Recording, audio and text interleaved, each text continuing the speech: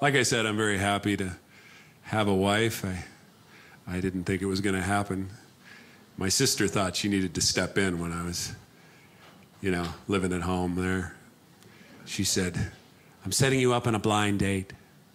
I said, Why? She said, I'm tired of looking at your face. you need my help. I'm like, What can you tell me about the girl? All she would say is she had a wonderful personality. I said, Good enough for me. So the day of the date came, and this is going to sound like a non sequitur, but this is really kind of important to what I'm about to tell you. My dad moves pianos for a living, and I was helping move a piano the day of the date and change the dolly out from under the piano for another one. The dolly broke and it crushed my foot. So when I was walking up to her door, I had the most painful foot. And I was just grimacing as I walked up to her door. that was the first part that went wrong. The second was I had a can of red cream soda in my hand, which, do you remember the 80s? We loved red cream soda pop. Anything with fizz and dye, we were so excited about that.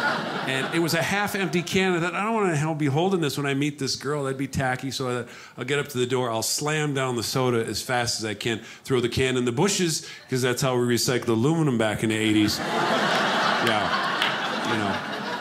You know, try to get any air out that might have developed, knock on the door, meet the girl with the nice personality, and get on with our lives. That was my plan. And I got up to the door, and it didn't seem like anyone was home. And, okay, and I started slamming down the soda a little too fast. You know, it's burning, tears are going down my eyes, but I'm getting it done.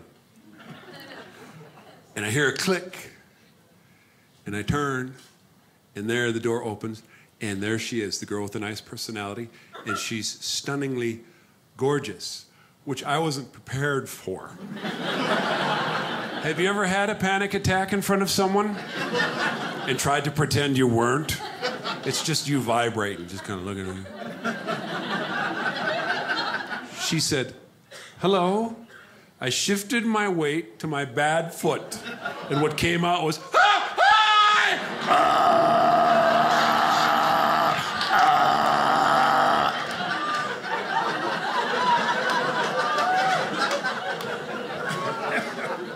How's it going?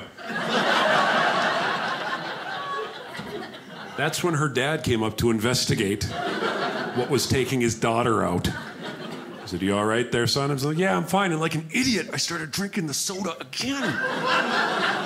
he said, We in a fight? Why are you limping like that? I said, and I quote, Oh, I got hurt when I was changing my dolly. When I heard the words that had just come out of my mouth, I shot red cream soda out of my nose.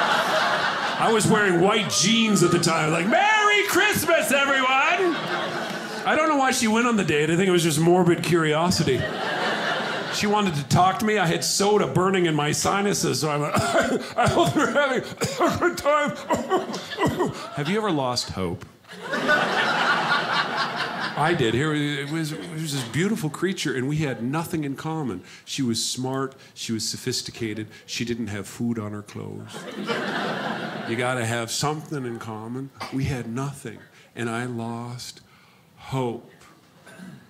But at the pizza place, I said something kind of funny, and she shot Dr. Pepper out of her nose. We've been married for 24 years.